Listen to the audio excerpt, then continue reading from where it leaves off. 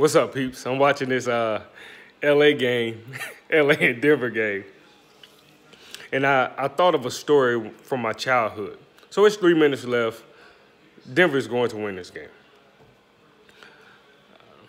So I, I was raised in Birmingham, Alabama, but I spent a large majority of my time in Bessemer, um, Fairfax Avenue.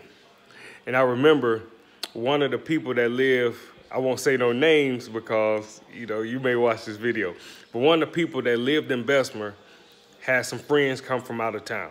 So we from Alabama, everybody is from up north. If you're from, you know, South Carolina, North Carolina, Virginia, it don't matter you're from up north. Well, these particular cousins um, that came to, these people that came to visit one of our friends from Fairfax Avenue, you know, they kind of terrorized us normal people. They were kind of bullies. You know, they were arrogant. You know, you southern dudes, blah, blah, blah. Um, they were arrogant. They kind of mistreated us a little bit. Well, at the time, we had a guy, uh, one of the best football players I've ever seen in my in my life.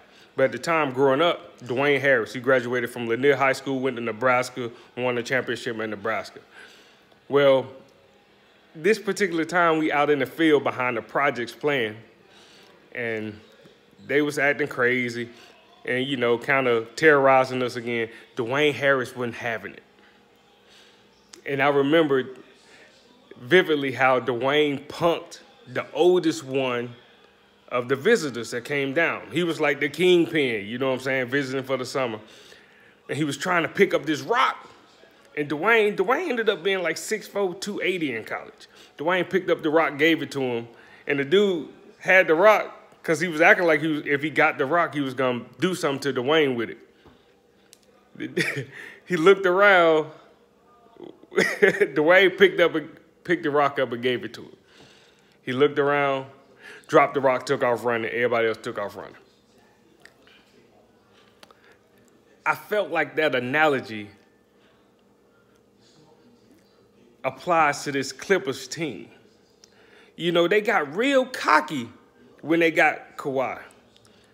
Patrick Beverley was, was extra talkative. That Morris boy was extra talkative. Now he's a real life goon now. He ain't just a tough guy. He's a goon now. Um, Paul George. You know, I felt, especially when they played against the the Dallas Mavericks, you know, the way they was trying to intimidate Luka and do do these kind of things. Well, against Denver, they came in, the out of town guys came in, and when stuff got rough, they was looking for the rock to pretend like they was gonna do something to Denver. Jokic and Murray picked up the rock and gave it to him and said, now what you gonna do about it? And the Clippers are running. They took off running. This is what happened when you have people that ain't scared. Denver Nuggets are wearing the Clippers out without Will Barton, who's one of their best players, and he's hurt. The Denver Nuggets are dogs. Despite Mike Malone, I don't even like him as a coach that much, but they are dogs. Jamal Murray is putting himself, if he's not at the top 10, he's trying to put himself in the top 10. And Jokic is making a claim to be the best big man in the game. This is what happened. The Clippers were bullies, and Denver punched them in the mouth and they took off running. That's really what happened. Now, it looks like it's going to be Denver and the Lakers. LeBron James may have may have taken some losses early, especially the Miami, the first Miami um, Dallas series, but he's not going to wilt. So Denver is going to punch. They're gonna kick and claw, but I don't think it's gonna be enough for the King. He's too smart, too smart, too composed. But tonight, it is your night, Denver. The Clippers have to regroup. Doc has restaking his claim as the most overrated coach in the nation, any sport. The only coach in NBA history to have lost three 3-1 leads in the playoffs.